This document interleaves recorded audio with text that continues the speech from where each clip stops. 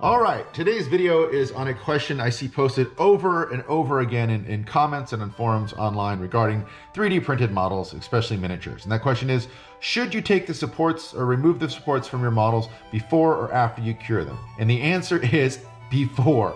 Because once you cure this thing, this thing's uh, fresh out, fresh off the build plate of um, my my 3D resin printer. But like, see, it's squishy and soft and gross, and I still have to clean it. But then after I'm done, after I'm done cleaning it, before I cure it, I'm gonna take the supports off. The reason being, they're squishy and removable, and once I put them in some heated cleaning fluid, they'll just peel right off. If I cure this thing, these will be pretty much resin slash rock hard and secured to my model. So each one that I either cut off with blue nippers or break off is gonna leave a pockmark or a bump all over my model and I don't want that. When you when you do it, uh, when they're nice and soft, they, they come right off, especially if you use a method uh, that uses a warm fluid, either water or some type of you know rubbing alcohol or whatever you use to clean your models.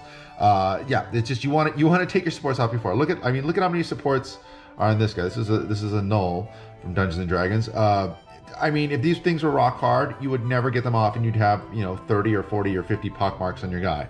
Even even worse, you can't even see this model. There's so many supports on it. This is a cockatrice. It's like that, you know, the magical rooster chicken that petrifies you like a, um, like uh, what do you call it? Like a basilisk, right? So th- it has so many supports on it that it's encased in supports. If I were to harden this thing and cure it, I would. Ne- it would be like trying to defuse a bomb, like cutting all these wires and stuff, and you you would never be able to. It'd just be more work than it was worth to get this model out. So always remove the supports before you cure, not after you cure, unless you have a lot of free time and want your models to look super beat up.